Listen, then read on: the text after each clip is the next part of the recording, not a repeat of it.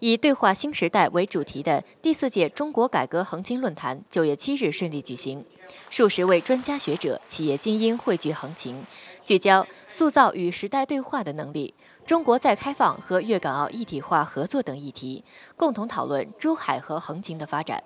我衷心希望本次论坛能够成为我们与各行各业的精英交流对话的一个平台。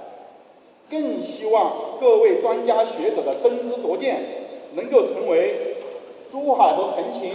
二次创业的动力。中国改革横琴论坛的举办，成为横琴了解世界、业界了解横琴的重要渠道，对提升横琴的影响力、扩大横琴的话语权起到了积极作用。横琴自贸片区来看，应该说过去这些年都已经取得了很好的成绩，在全国的这个自贸试试验区当中也是排在前列的。那我觉得从下一个阶段来看可能呃